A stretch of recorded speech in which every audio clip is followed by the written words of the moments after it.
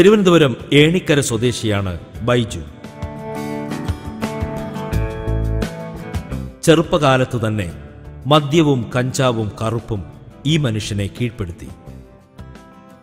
സമാധാനമില്ലാത്ത അസ്വസ്ഥമായ ജീവിതത്തിനൊടുവിൽ മൂന്ന് തവണ ആത്മഹത്യാ ശ്രമം. എല്ലാവരാലും വെറുക്കപ്പെട്ട് നാടുവിട്ടലഞ്ഞ ഈ വ്യക്തിയുടെ ജീവിതത്തിലേക്ക് യേശുക്രിസ്തുവിന്റെ സ്നേഹം കടന്നു വന്ന കഥയാണ് സാക്ഷ്യകൂടാരത്തിന്റെ ഈ അധ്യായം.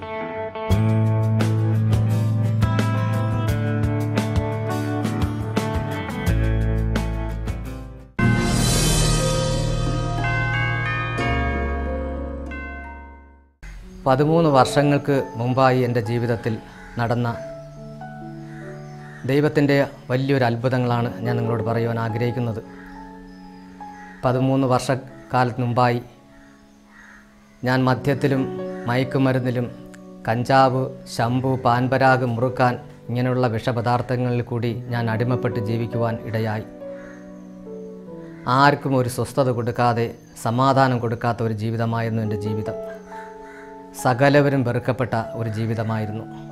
എനിക്ക് അമ്മയും ഒരു സഹോദരിയും ഒരു ചെറിയൊരു കുടുംബത്തിൽ ജനിക്കുവാൻ എനിക്കൊരു ദൈവം ഭാഗ്യം തന്നു. എങ്കിലും അന്നത്തെ ആ ജീവിതമെന്ന് പറയുവാണെങ്കിൽ ഒരു വല്ലാത്തൊരു ജീവിതമായിരുന്നു. ഉടുക്ക തുണിയില്ലാതെയും കഴിക്കുവാൻ ഭക്ഷണമില്ലാത്ത ഒരു കാലഘട്ടത്തിൽ കൂടി ഞങ്ങൾ വളർന്നുവെങ്കിലും കൊച്ചുനാളിൽ തന്നെ ഞാൻ ജോലിക്കായി ഇറങ്ങി തുടങ്ങി. ആ ഇറങ്ങിയ നാൾ മുതൽ തന്നെ മദ്യം എനിക്ക് ഞാൻ കുടിക്കുകയും അതിൽ ഞാൻ ആശ്രയം വയ്ക്കുകയും ഓരോ ദിവസം ഓരോ ദിവസം കൂടുന്തോറും ആ മദ്യത്തിന്റെ അളവ് കൂടുകയും ചെയ്യുന്ന ഒരു അനുഭവം എനിക്കുണ്ടായി. പിന്നെ പിന്നെ മുതൽ എന്റെ ജീവിതം ആ ഒരു വല്ലാത്തൊരു നാശത്തിലേക്ക് തന്നെ പോകുവാനിടയായി. ഒരുപാട് കൂട്ടുകെട്ടിൽ ഞാൻ അകപ്പെട്ടു. മദ്യവും മയക്കുമരുന്നും എന്ത് വിഷപദാർത്ഥങ്ങൾ ലഹരി പദാർത്ഥങ്ങൾ എന്റെ ജീവിതത്തിൽ കിട്ടിയാലും അതെല്ലാം ഞാൻ ഉപയോഗിക്കുന്ന ഒരു അനുഭവമായിരുന്നു. വീട്ടിൽ വന്നു കഴിഞ്ഞാൽ പിന്നെ വീട്ടുകാർക്ക് ഒരു സ്വസ്ഥത കൊടുക്കില്ല നാട്ടുകാർക്ക് ഒരു സ്വസ്ഥത കൊടുക്കില്ല അങ്ങനത്തെ ഒരു വല്ലാത്തൊരു ബഹളമാണ്. രാത്രികാലങ്ങളിൽ ഞാൻ കടന്നു വന്നു കഴിഞ്ഞാൽ ആൾക്കാർ എന്നെ കളിയാക്കും. കാരണം കാലമാടം വരുന്നു. ഇനി സ്വസ്ഥത കൊടുക്കാൻ കഴിയില്ല. സമാധാനം കിട്ടില്ല എന്ന് പറഞ്ഞ് നാട്ടുകാർ ഞങ്ങൾ താമസിക്കുന്ന പരിസരവാസികളെല്ലാം എന്നെ കുറ്റപ്പെടുത്തുകയും വഴക്കുറയും ചെയ്യുന്ന ഒരു അനുഭവമായിരുന്നു. എന്റെ അമ്മയും എന്റെ സഹോദരി പോലും എന്നെ വെറുക്കപ്പെട്ട ഒരു സമയമുണ്ടായിരുന്നു. കാരണം അത്രത്തോളം നീചമായ പ്രവൃത്തികളാണ് എന്റെ ജീവിതത്തിൽ നിന്ന് ഉണ്ടായിക്കൊണ്ടിരുന്നത്. സ്വസ്ഥത ലഭിക്കാതെ അമ്മയും സഹോദരിയും അടുത്തുള്ള ഭവനങ്ങളിൽ ഓടിപ്പോയ അനുഭവങ്ങൾ വരെ എന്റെ അമ്മയ്ക്ക് ഉണ്ടാകുവാനിടയായി. നിവർത്തികെട്ട് അമ്മ എന്നെ പഴിക്കുവാനിടയായിട്ടുണ്ട്. പോയി ചാകാൻ പറഞ്ഞിട്ട് ഉള്ള ദിവസങ്ങളുണ്ടായിരുന്നു. കാരണം നിവർത്തി കെട്ടുകൊണ്ട് ഞാൻ പലപ്പോഴും ഇതൊക്കെ ചിന്തിക്കും. ഒരു ദിവസം എല്ലാവരെയും കൊന്നിട്ട് ഞാനും മരിക്കണമെന്നൊരു മോഹം എന്റെ ജീവിതത്തിൽ കടന്നു വന്നു എന്റെ അമ്മ ഞാൻ ഇവിടെ ഇരിപ്പുണ്ട്. അമ്മയെ ഒരുപാട് ഞാൻ ഉപദ്രവിക്കുമായിരുന്നു. അമ്മയുടെ കാൽ വരെ തല്ലി ഓടിച്ച ഒരു അനുഭവം എന്റെ ജീവിതത്തിലുണ്ടായിരുന്നു. അത്രത്തോളം നീചമായ പ്രവൃത്തിയായിരുന്നു എന്റെ ജീവിതത്തിലുണ്ടായിരുന്നത്. സകലവൻ വെറുത്തു. നാട്ടുകാർ വെറുത്ത് കൂട്ടുകാർ വെറുത്ത് ബന്ധുക്കൾ വെറുത്ത് ആരുടെയും മുന്നിൽ പോകുവാൻ കഴിയാത്ത ഒരു ജീവിതമായിരുന്നു എന്റെ ജീവിതം. എങ്ങനെയെങ്കിലും മരിക്കണം എന്നുള്ള ചിന്താബോധത്തോടെ ഞാൻ നീങ്ങിയ ദിവസങ്ങളായിരുന്നു അന്നത്തെ ആ ജീവിതങ്ങൾ. പിന്നെ മുതൽ ഞാൻ എങ്ങനെ മരിക്കണം മരിക്കണമെന്ന് ഞാൻ ചിന്തിച്ചുകൊണ്ട് നടന്ന ദിവസങ്ങളായിരുന്നു പിന്നത്തേൽ. ഏത് വിധത്തിൽ മരിക്കണം എങ്ങനെ മരിക്കണമെന്ന് ഞാൻ ചിന്തിച്ചുകൊണ്ട് നടക്കുവാനിടയായി. അങ്ങനെ എന്റെ ചിന്തയിൽ പെട്ടെന്നൊരു ചിന്ത എനിക്ക് വന്നത് അമ്മി തൂങ്ങി മരിക്കണമെന്നുള്ള ഒരു ചിന്ത എന്റെ ജീവിതത്തിൽ വന്നു. എങ്ങനെയെങ്കിലും ഈ ലോകം വിടണം. കാരണം എല്ലാവരും എന്നെ വെറുത്തപ്പോൾ ഞാനും സ്വയം അങ്ങ് വെറുക്കപ്പെടുവാനിടയായി ഈ ലോകം വിടണം എന്നുള്ള ചിന്ത എന്റെ ജീവിതത്തിലുണ്ടായിരുന്നു കാരണം സ്വസ്ഥത ഒരു ഒരാൾക്കും സ്വസ്ഥത കൊടുക്കാത്ത ഒരു ജീവിതമായിരുന്നു. രാത്രി കാലങ്ങളിൽ കടന്നു വരും ഈ വചനപ്രകാരം ലഗ്യോൻ ഈ കല്ലറകൾ പാർത്ത ഒരു അനുഭവമായിരുന്നു എന്റെ ജീവിതത്തിലും. ആർക്കും ഒരു സ്വസ്ഥത കൊടുക്കാത്ത ഒരു ജീവിതം.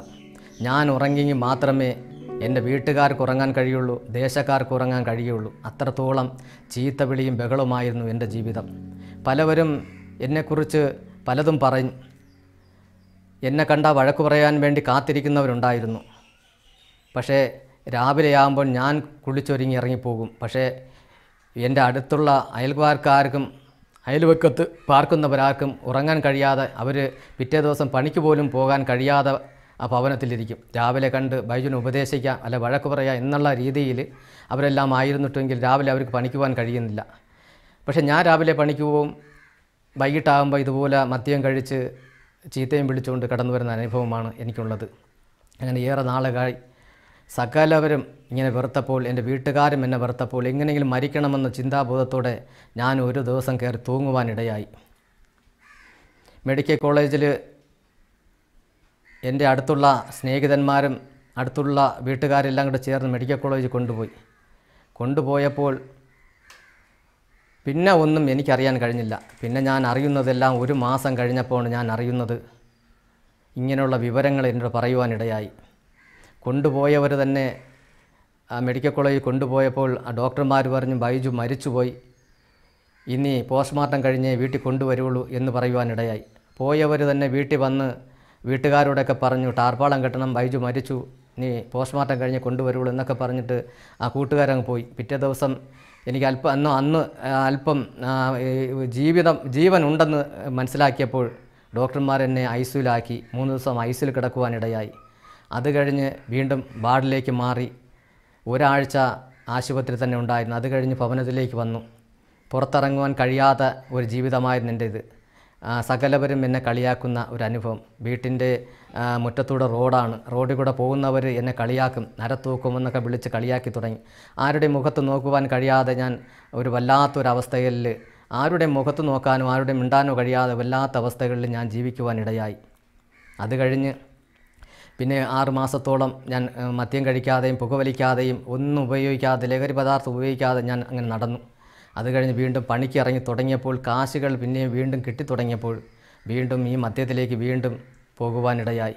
മദ്യം മാത്രമല്ല കഞ്ചാവ് ഈ കറുപ്പെന്ന ആ വസ്തുക്കൾ പിന്നെ ഈ പാൻപരാഗ് മുറുക്കൻ സിഗരറ്റ് ഇതെല്ലാം വീണ്ടും ജീവിതത്തിൽ കടന്നു വന്നു. വീണ്ടും ഇതുപോലെ അസ്വസ്ഥത വന്ന്. വീണ്ടും ആൾക്കാർക്ക് സ്വസ്ഥത കൊടുക്കാൻ കഴിയാതെ ഒരു വല്ലാത്ത ജീവിതമായി എന്റെ ജീവിതം നടന്നു. പിന്നെ ആൾക്കാർ എന്നെ വെറുത്തു തുടങ്ങി. ആൾക്കാർ എന്നെ ചത്ത് കിട്ടിയാൽ മതിയെന്നും പറഞ്ഞ ജീവിതം ഉണ്ടായിരുന്നു. പക്ഷേ പലവരും ഈ എന്റെ ഈ ബോഡി വരുമെന്ന് കാത്ത് പലവരും ഇരിക്കുന്ന ഒരു സമയമുണ്ടായിരുന്നു ഞാൻ തൂങ്ങിയ സമയത്ത്. എന്റെ ബോഡി വന്നാൽ അവർ ആനന്ദിക്കണമെന്നൊരു ആഗ്രഹത്തോടെയാണ് അവരിരുന്നത്. പക്ഷേ അവർക്കാർക്കും അങ്ങനെ ആനന്ദിക്കുവാൻ കഴിഞ്ഞില്ല. കാരണം എനിക്ക് ജീവിതം ദൈവം തന്ന ജീവിതം എനിക്കുണ്ടെന്ന് അപ്പോഴവർ മനസ്സിലായി. പക്ഷേ ഞാൻ വീണ്ടും ഈ മദ്യത്തിലേക്ക് വീണ്ടും കടന്നുപോയി. വീണ്ടും മദ്യപാനം എനിക്ക് ജീവിതത്തിൽ കടന്നു വന്നപ്പോൾ വീണ്ടും നാട്ടുകാർക്കും വീട്ടുകാർക്കും സ്വസ്ഥത ഇല്ലാതെയായി. പിന്നെ ഞാൻ നാട് വിടുവാനിടയായി. പല സ്ഥലങ്ങളിൽ നാട് വിട്ട് വർഷങ്ങളോളം അങ്ങോട്ടും ഇങ്ങോട്ടും നാട് വിട്ട് നടന്നു. വീണ്ടും ഭവനത്തിലേക്ക് കയറി വന്നു. വീ ഭവനത്തിന്റെ ഒരു പണിയുടെ സർക്കാരിന്റെ ഒരു പണി എനിക്ക് തന്നതിന്റെ ഭാഗമായി ഞാൻ ഭവനത്തിൽ കടന്നു വന്നു. കടന്നു വന്ന ശേഷം വീണ്ടും അതിന്റെ ഒരു ജീവിതത്തിലേക്ക് തന്നെ ഞാൻ നടന്നുപോയി. വീണ്ടും ആ വീട് വസ്തു ഭവനം പണിയുന്ന ആ സമയങ്ങളിൽ എനിക്ക് ദൈവം എന്നെ സഹായിച്ചു. കുറച്ച് തട്ട് പലവയൊക്കെ എനിക്ക് കിട്ടുവാനിടയായി അത് മുഖാന്തരം ഞാൻ ആ പണികളൊക്കെ ചെയ്തു. വീണ്ടും പൈസയിലെല്ലാം കൂടി വന്നപ്പോൾ വീണ്ടും ഭയങ്കരമായ മദ്യപാനം എന്റെ ജീവിതത്തിൽ വന്നു. ഒരു സ്വസ്ഥതയും സമാധാനവും കിട്ടുന്നില്ല. ആർക്കും ഒരു സ്വസ്ഥത കൊടുക്കാൻ കഴിയുന്നില്ല. എല്ലാവരും എന്റെ മരണം കാത്തിരിക്കുന്ന ദിവസങ്ങളായിരുന്നു. എങ്ങനെയെങ്കിലും ചത്ത് കിട്ടിയാൽ മതി എന്നുള്ള ആൾക്കാരുടെ ആഗ്രഹമായിരുന്നു. പക്ഷേ എനിക്കൊരു സ്വസ്ഥതയും കിട്ടുന്നില്ല ഒരു സമാധാനം കിട്ടുന്നില്ല. ഞാൻ ദേശങ്ങൾ ദേശങ്ങളിൽ അലഞ്ഞു തിരിഞ്ഞ് നടക്കുന്ന ഒരു അനുഭവം മുഴു ഭ്രാന്തനായിപ്പോയി എങ്കിലും എന്റെ ദൈവം എന്റെ ദൈവത്തെ അറിയുവാൻ എനിക്ക് കഴിയാതെ വണ്ണം ആയിരുന്നു. ഞാൻ ഇങ്ങനെ ദേശത്ത് ദേശത്ത് നാട് ചുറ്റി നടന്നു. ഒരു പ്രാന്തനെ പോലെ ഈ പാളയം ശംഖുമുഖം ഇങ്ങനെയൊക്കെ നടന്ന് മിച്ച് ഭ്രാന്ത് പറഞ്ഞുകൊണ്ട് നടന്ന ഒരു അനുഭവം എനിക്കുണ്ടായി. വീണ്ടും ഞാൻ ദേശങ്ങളിൽ വിട്ട് നാട് വിട്ട് പല ദേശങ്ങളിലും കണ്ണൂർ കാസർഗോഡ് ഇങ്ങനെയൊക്കെ നാട് വിട്ട് നടന്ന് ജോലികൾ ചെയ്ത് നടന്ന ഒരു അനുഭവമായിരുന്നു. അങ്ങനെ ഇരിക്കുമ്പോൾ എന്റെ സ്നേഹിതൻ ഇതുപോലെ വിളിച്ചു പറഞ്ഞു ബൈജു ഇന്ന അടുത്ത് പണിയുണ്ട്. നീ ഒന്ന് വന്ന് ഞങ്ങളെ ഒന്ന് സഹായിക്കണമെന്ന് പറഞ്ഞു. അങ്ങനെ ഞാൻ അങ്കമാലിയിൽ നിന്നിട്ട് അവിടെ നിന്ന് നേരെ എറണാകുളം തോപ്പുംപടി എന്ന സ്ഥലത്തേക്ക് കടന്നു പോകുവാനിടയായി കടന്നുപോയി അന്ന് അവിടെ പണി ചെയ്തുകൊണ്ടിരിക്കുമ്പോൾ അവിടെ എന്നും കുടിയാണ് ജോലി. എന്നും കുടിച്ചുകൊണ്ട് എനിക്ക് അവിടെ കിടക്കുവാൻ കഴിയുള്ളൂ. അത്രത്തോളം ഒരു അവിടുത്തെ ജീവിതം അങ്ങനെയായിരുന്നു. കൂട്ടുകാരും അത്രത്തോളം ഉണ്ടായിരുന്നു. പക്ഷേ എനിക്ക് കുടിക്കാതെ എനിക്ക് കഴിയ കിടക്കാനും കഴിയില്ല. അത്രത്തോളം ഒരു ജീവിതമായിരുന്നു എന്റെ ജീവിതം. ഒരു ദിവസം എന്റെ സ്നേഹിതനായ ഒരു ചേട്ടൻ എന്നോട് പറഞ്ഞു ബൈജു എന്നും എന്ന് കുടിക്കൽ ഇന്നൊരു ദിവസം കുടിക്കണ്ട എന്ന് പറയുവാനിടയായി. പക്ഷേ എന്ത് പറയട്ടെ ഞാൻ കുടിക്കാതെ ഒരു ദിവസം അവിടെ ഇരിക്കുവാനിടയായി. അങ്ങനെ ഇരിക്കുന്ന സമയത്ത് ഭക്ഷണം കഴിച്ചിട്ട് ഒന്ന് കിടന്നപ്പോൾ എന്റെ ശരീരത്തിൽ നിന്ന് എന്റെ ആത്മാവ് വിട്ടുപോകുന്ന ഒരു അനുഭവമാണ് ഞാൻ കാണുവാനിടയായത്. ഞാൻ ഒരു വല്ലാത്തൊരു ലോകത്തേക്ക് എന്റെ ശരീരത്തിൽ നിന്ന് എന്റെ ആത്മാവ് വിട്ടുപോകുന്ന ഒരു അനുഭവം ഞാൻ കാണുവാനിടയായി. ഒരു മനുഷ്യനോട് ഞാൻ സംസാരിക്കുന്ന ഒരു അനുഭവം എന്റെ ജീവിതത്തിലുണ്ടായിരുന്നു. ആ മനുഷ്യൻ എന്നോട് പറഞ്ഞു നിന്റെ അമ്മയെ ഒരിക്കലും ഉപദ്രവിക്കരുത്. അവരെ വിഷമിപ്പിക്കാൻ ഇടയാകരുതെന്നും പറഞ്ഞ് കുറേ വാക്കുകൾ എന്നോട് പറഞ്ഞു. പക്ഷേ അത് കഴിഞ്ഞ് ഞാൻ കണ്ണു തുറന്ന് നോക്കിയപ്പോൾ എന്റെ ശരീരമാകെ കുളിച്ച് വേർത്ത് കുളിച്ചിരിക്കുന്ന അനുഭവം വിറയ്ക്കുന്ന ഒരു അനുഭവം കാണുവാൻ ഇടയായി.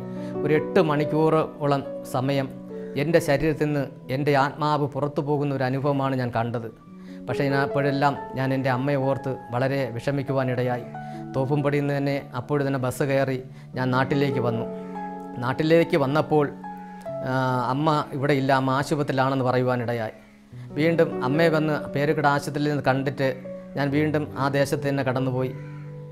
പിന്നെ ഒരു ദിവസമായപ്പോൾ വീണ്ടും എന്റെ ജീവിതത്തിൽ ഈ അസ്വസ്ഥതകൾ വിപ്രാളങ്ങൾ എന്നുവെച്ചാൽ ഒരു വല്ലാത്തൊരു ഭ്രാന്തിന്റെ അനുഭവങ്ങൾ കടന്നു വന്ന് ഇനി ജീവിക്കണ്ട എന്ന് കരുതി വീണ്ടും തൂങ്ങുവാനിടയായി. അങ്ങനെ വീണ്ടും തൂങ്ങാനിടയായപ്പോൾ പലവരും ഇതുപോലെ തന്നെ എന്നെ ആശുപത്രി എടുത്തുകൊണ്ട് പോയി. കൊണ്ടുപോയി. അപ്പോൾ എനിക്ക് അല്പം അവിടെ ജീവൻ ഉണ്ടായിരുന്നു. അപ്പോൾ അപ്പം ഡോക്ടർമാർ എന്നെ വഴക്ക് പറഞ്ഞ് ഇന്ന് എന്നെ പ്രാന്തനാശുപത്രി കൊണ്ടുപോകും. അവിടെ കൊണ്ടുപോയാൽ നിന്നെ അവിടെ പ്രാന്തനാശുപത്രി അതുകൊണ്ട് ഇനി മേലിങ്ങനത്തെ ആവർത്തി ഉണ്ടാകരുതെന്ന് പറയുവാനിടയായി. പിന്നെ ഞാൻ വീട്ടിൽ നിന്ന് അധിക ദിവസം കടന്നു പോകാൻ കഴിയാതെ ജോലിക്കൊന്നും പോകാതെ വീട്ടിൽ തന്നെ ഇരുന്നു. വീണ്ടും ദേശത്ത് എല്ലാവരും എന്നെ കളിയാക്കുന്നൊരു അനുഭവം ഉണ്ടായിരുന്നു. പിന്നെ അരത്തൂക്കുന്ന വിളി മാറി മുക്കാത്തൂക്കമായി പിന്നെ ഞാൻ ലോ ദേശം വിട്ട് പല ദേശങ്ങളിൽ കടന്നുപോയി. അങ്ങനെ ഒരു ദിവസമാണ് ഞാൻ വീണ്ടും നാട്ടിലേക്ക് വന്നു. ഒരുപാട് ജോലികൾ ചെയ്ത് അങ്ങനെ പൈസകൾ കൂടി ഒരുപാട് കൂട്ടുകെട്ടുണ്ടായിരുന്നു. ദേശത്ത് അങ്ങനെ ഒരു വല്ലാത്തൊരു ജീവിതം വീണ്ടും നയിച്ചു കൊണ്ടിരിക്കുന്ന സമയത്ത് മുഴു ഭ്രാന്തനായി മുഴു ഞാൻ ഈ റോഡ് നീളെ നടക്കുന്ന ഒരു അനുഭവം ഉണ്ടായിരുന്നു. എന്നോട് ആരൊക്കെ എന്തൊക്കെയോ പറയുന്നു പക്ഷേ അതിന് മറുപടി ഞാൻ കൊടുക്കുന്നു. പക്ഷേ ഞാൻ റോഡ് നീളെ കരയുന്നു. ഇങ്ങനെയുള്ള ഒരു അനുഭവം എന്റെ ജീവിതത്തിൽ ഉണ്ടായി എനിക്ക് ജീവിക്കണമെന്നും ആഗ്രഹമുണ്ട്. പക്ഷേ മരിക്കണമെന്നും ആഗ്രഹമുണ്ട്. എന്ത് ചെയ്യണമെന്നൊന്നും ഒരു പിടുത്തവുമില്ലാതെ ഞാൻ ഇങ്ങനെ നടക്കുന്ന ഒരു അനുഭവമാണ് ഞാൻ കാണുവാനിടയായത്. പക്ഷേ ഒരു ദിവസം സ്വസ്ഥതയില്ലാതെ ഞാൻ ഇങ്ങനെ നടന്നപ്പോൾ വെട്ടുകാട് പള്ളിയിൽ ചെന്ന് പ്രാർത്ഥിക്കുന്ന ഒരു അനുഭവം എനിക്ക് പണ്ടേ ഉണ്ടായിരുന്നു. അവിടെ പോയപ്പോൾ തന്നെ എന്റെ ജീവിതത്തിൽ ഒരു വല്ലാത്തൊരു അനുഭവം ഞാൻ കാണുവാനിടയായി. കാരണം പുറകിൽ നിന്ന് ഒരു വല്ലാത്തൊരു ശബ്ദം ഞാൻ കേൾക്കുവാനിടയായി നിന്നെ ഒരിക്കലും ഞാൻ വിടില്ല എന്ന് പറഞ്ഞുള്ള ശബ്ദമാണ് ഞാൻ കേട്ടത്. പക്ഷേ ഞാൻ അവിടെ നിന്ന് എനിക്ക് പ്രാർത്ഥിക്കാനറിയില്ല. കുരിശിന്റെ അടുക്കൽ ചെന്ന് കറങ്ങിത്തിരിഞ്ഞ് അവിടെ നിന്ന് ശംഖു അല്ല വെട്ടുകാട് പള്ളിക്ക് വെളിയിലിറങ്ങി കടപ്പുറം വഴി നടക്കുവാനിടയായി നടന്ന് മുഴു പ്രാന്തനെ പോലെ നടന്ന് ഞാൻ വെട്ട് വെട്ട് ശംഖുമുഖത്ത് വന്നിട്ട് അവിടെ നിന്ന് ബസ് കയറി നേരെ പാളയം പള്ളിയിൽ വന്നു. പാളയം പള്ളിയിൽ വന്നിട്ട് അവിടെ കുരിശിന്റെ മൂട്ടിൽ കിടന്നുകൊണ്ട് ഞാൻ ദൈവത്തോട് നിലവിളിച്ച് പറഞ്ഞു കാരണം എന്റെ പാവങ്ങൾ ക്ഷമിക്കണമെന്ന്. പക്ഷേ പാവങ്ങൾ ക്ഷമിക്കണമെന്ന് പറഞ്ഞ് കുരിശിന്റെ മൂട്ടിൽ കിടന്ന് നടന്ന എന്റെ ജീവിതത്തിൽ ഒരു പാപവും വിടിവിപ്പാൻ ആർക്കും കഴിഞ്ഞില്ല. ഞാൻ അവിടെ നിന്ന് നേരെ ബസ് സ്റ്റോപ്പിലേക്ക് ഇറങ്ങി. അവിടെ ഇറങ്ങിയപ്പോൾ എന്റെ സ്നേഹിതനായ ഒരു സുഹൃത്ത് വന്ന് എന്നോട് പറഞ്ഞ് വണ്ടി കയറാൻ പറഞ്ഞു. ഞാൻ അപ്പോൾ വണ്ടി കയറി ആട്ടോ കയറി. ആട്ടോ കയറിയിട്ട് എന്നോട് പറഞ്ഞ് എവിടെ പോകണമെന്ന്? പറഞ്ഞു. ഷാപ്പിലേക്കാണോ? ഏതോ ബാറിലേക്കാണോ? എന്ന് പറഞ്ഞു. ഞാൻ അവിടെയൊന്നുമല്ല. ഞാനൊരു ആശുപത്രി തേടിയാണ് ഇറങ്ങിയെന്ന് പറഞ്ഞു. പക്ഷേ എന്നെ നാലാഞ്ചിറ ഒരു പ്രൈവറ്റ് ആശുപത്രിയിൽ ആ സഹോദരൻ കൊണ്ടാക്കി. അവിടെ ഡോക്ടറെ ചെന്ന് കണ്ട് ആ ഡോക്ടറോട് ഞാൻ കാര്യം പറഞ്ഞ് എനിക്ക് ഉറങ്ങാൻ കഴിയുന്നില്ല. ഒരാഴ്ചയായി ഞാൻ ഉറങ്ങിയിട്ട് ഞാൻ ആകെ ഭ്രാന്ത് പിടിച്ച അവസ്ഥയായി. അങ്ങനെ എനിക്ക് ഒരു മൂന്ന് ഉറക്കക്കുളി രണ്ട് ഉറക്കക്കുളിയെയും ഒരു ചെറിയ ട്യൂബിലെ മരുന്നും എനിക്ക് തരുവാനിടയായി ഉറങ്ങാൻ വേണ്ടി. പക്ഷേ അതും വാങ്ങി ഞാൻ വീട്ടിൽ വന്ന് ആ സഹോദരനെ പൈസ കൊടുത്ത് ഞാൻ വിട്ടിട്ട് നേരെ വീട്ടിൽ വന്നു. വീട്ടിൽ വന്നിട്ട് ഞാൻ എന്താണ് ഞാൻ ഈ മൂന്ന് ഈ രണ്ട് ഉറ ആ മരുന്നും കൂടെ പൊട്ടിച്ച് കഴിച്ച് എത്രയും പെട്ടെന്ന് ഉറങ്ങണം എന്നുള്ള ചിന്താബോധത്തോടെ ഞാൻ പൊട്ടിച്ച് കഴിച്ചിട്ട് കിടന്ന് കിടന്നിട്ട് എനിക്ക് ഉറക്കാൻ കഴി ഉറങ്ങാൻ കഴിയുന്നില്ല. എന്നെ ആരോക്കെ എന്നെയൊക്കെ എന്തൊക്കെ പറയുന്നു ഒരു അനുഭവം. നാട്ടുകാർ വിളിച്ച് പറയുന്നു ബൈജുവിന് ഭ്രാന്ത് പിടിച്ച് ഭ്രാന്ത് പിടിച്ചെന്ന്. ഞാൻ ഉച്ചത്തിൽ കിടന്ന് നിലവിളിക്കുകയും ചീത്ത വിളിക്കുകയും ചെയ്യുന്ന ഒരു അനുഭവം അപ്പോഴുണ്ടായിരുന്നു. ഒന്നും ആലോചിച്ചില്ല. ആരൊക്കെ എന്നോ എന്നോട് എന്തൊക്കെയോ ചെവിയിൽ മന്ത്രിക്കുന്നു. നിന്നെ ഭ്രാന്തനാക്കും ഭ്രാന്തനാക്കുന്നു. ഞാൻ പറഞ്ഞു ഇനി ഒരിക്കലും ഭ്രാന്തനായി ഞാൻ ഈ ലോകത്ത് നടക്കുകയില്ല. എങ്കിൽ ഞാൻ മരിക്കുമെന്ന് പറയുവാനിടയായി.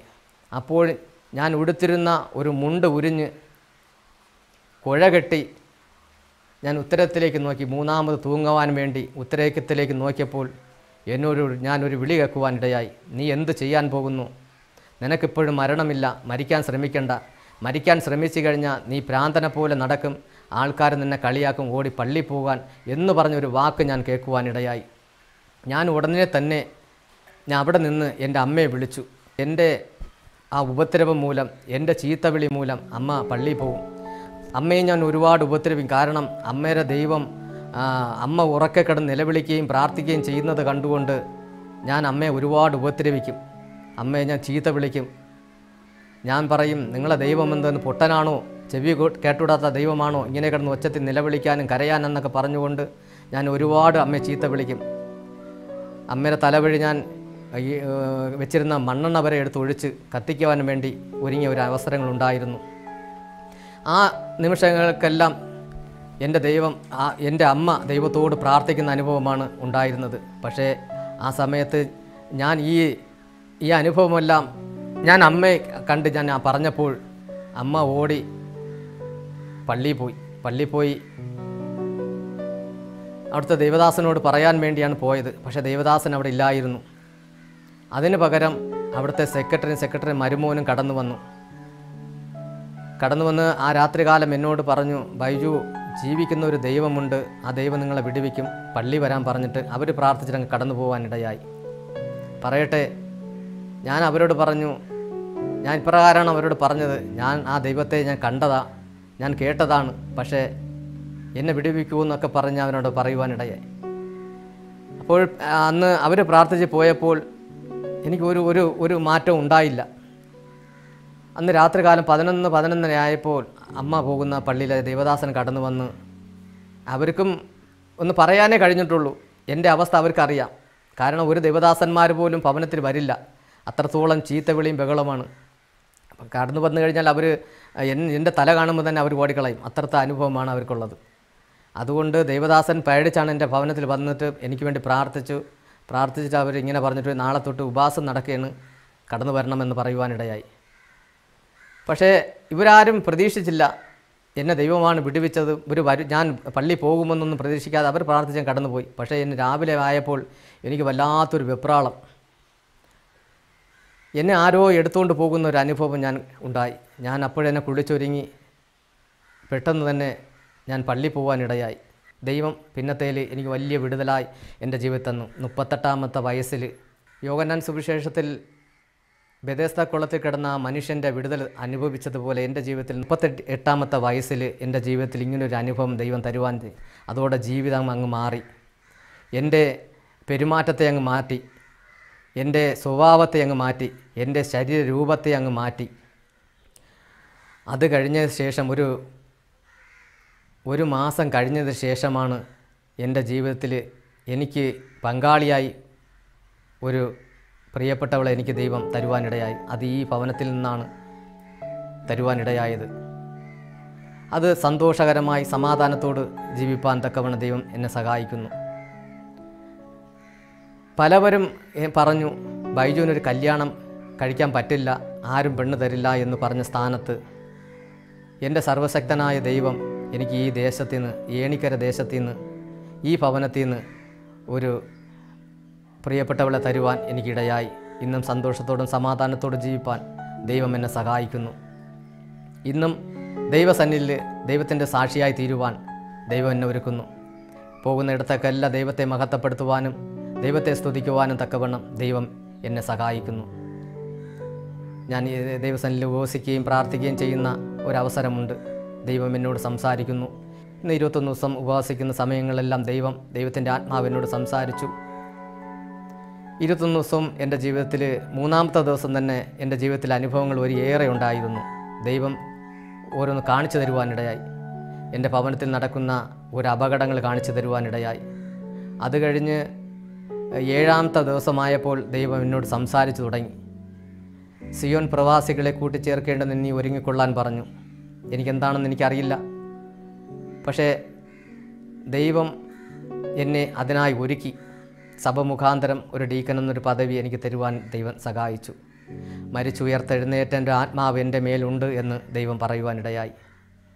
ആകാശവും ഭൂമി മാറും എങ്കിലും എന്റെ ദയ നിന്നെ വിട്ട് മാറില്ല എന്ന് എന്നോട് പറയുന്ന ഒരു അനുഭവങ്ങൾ ജീവിതത്തിൽ ഉണ്ടായിരുന്നു ദൈവം ഇത്രത്തോളം എന്നെ സഹായിച്ച് ഈ ദേശത്ത് ദൈവത്തിന് വേണ്ടിയും ദൈവനാമത്തിൽ പ്രയോജനകരമായി ജീവിക്കേണ്ടതിന് ദൈവം എന്നെ ഇപ്പോഴും എന്നെ ഒരുക്കിക്കൊണ്ട് നടക്കുകയാണ്. അതിലുപരിയായി പറയുവാനുള്ളത് ഞാൻ ദൈവത്തെ അറിഞ്ഞ ആ സമയം മുതൽ എന്റെ നാവിലെ കെട്ടുകൾ പൊട്ടിച്ചു തന്നു.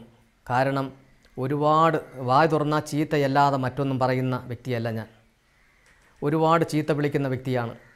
എന്റെ ദൈവത്തെ ഞാൻ അംഗീകരിച്ചപ്പോൾ എന്റെ ദൈവത്തെ ഞാൻ സ്വീകരിച്ചപ്പോൾ എന്റെ ദൈവത്തെ എന്റെ രക്ഷിതാവും പിതാവുമായി അംഗീകരിച്ചപ്പോൾ എന്റെ നാവിലെ കെട്ടെല്ലാം വിട്ട് ഇന്നുവരെയും പതിമൂന്ന് വർഷക്കാലമായി ഇന്ന് വരെ ഒരു ചീത്ത വാക്ക് എന്റെ നാവിൽ നിന്ന് വീഴുവാൻ ദൈവം അനുവദിച്ചിട്ടില്ല.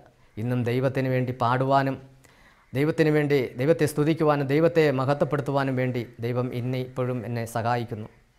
ദൈവം ഈ ദേശത്ത് ദൈവനാമത്തിന് വേണ്ടി പ്രയോജനകരമായി തീർക്കേണ്ടതിന് ദൈവം എന്നെ ഒരുക്കിക്കൊണ്ടിരിക്കുന്നു. ദൈവത്തിന്റെ കാഴ്ചപ്പാടനുസരിച്ച് ഞാൻ ഇപ്പോഴും ജീവിക്കുന്നു. ഈ അനേക ദൈവപ്രവൃത്തികൾക്കായി ആഗ്രഹമുണ്ട്. അതിലേക്ക് ഞാൻ ഒരുങ്ങുന്നു.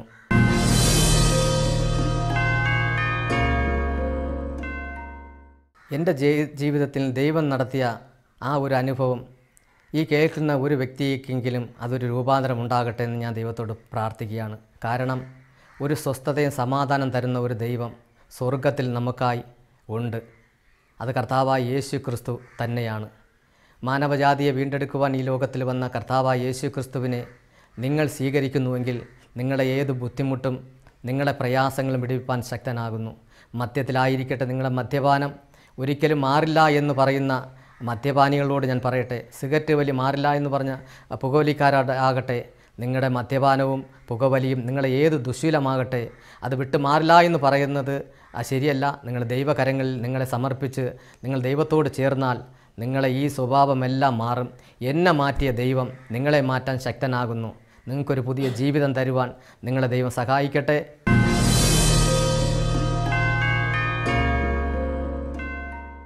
ഞാൻ രക്ഷിക്കപ്പെട്ട് കർത്താവിനെ സ്വീകരിച്ച ആ നാൾ മുതൽ എന്നെ നടത്തിയ ഒരു ദൈവം. ദൈവമെന്ന് എനിക്ക് തോന്നുവാൻ കാരണം ഒരു തേജസ് എന്നെ നടത്തുവാൻ തക്കവണ്ണം ഇടയായി. ഞാൻ പോകുന്ന വഴിയെല്ലാം ആ തേജസ് എന്നെ നടത്തുന്ന ഒരു അനുഭവം ഞാൻ കാണുവാനിടയായി അത് പറയുവാൻ മനസ്സിലായത് എന്റെ മുന്നിൽ പോകുന്ന വ്യക്തിയാകട്ടെ എന്റെ പിന്നിൽ വരുന്ന വ്യക്തിയാകട്ടെ എനിക്ക് പരിചയമുള്ളതല്ല. പറ- പരിചയമില്ലാത്ത വ്യക്തികൾ എന്നെ ചീത്ത വിളിക്കുന്ന അനുഭവം ഞാൻ പലപ്പോഴും കാണുവാനിടയായി അങ്ങനെ എന്നെ വഴി നടത്തിയ ഒരു തേജസ്. പല ദുഷ്ടശക്തികളിലും നിന്ന് എന്നെ വിടുവിച്ച ഒരു തേജസ്സിനെ ഞാൻ ഒന്നര വർഷക്കാലം ഞാൻ അനുഭവിക്കുവാനിടയായി. ഇപ്പോഴും ഞാൻ കടന്നു പോകുന്ന ദേശത്തെല്ലാം ഇങ്ങനൊരു അനുഭവം എന്റെ ജീവിതത്തിൽ കടന്നു വരുവാനിടയായി. അതിനെല്ലാം ഞാൻ എന്റെ ദൈവത്തെ നന്ദിയുള്ള ഹൃദയത്തോട് ഞാൻ വാഴ്ത്തുന്നു. ആ ദൈവത്തിന്റെ തേജസ് എന്നെ ഒരുപാട് സഹായിച്ചു എന്നെ ശക്തീകരിച്ചു ഇന്നും വഴി നടത്തുന്നു. ദൈവത്തിന് സ്തോത്രം.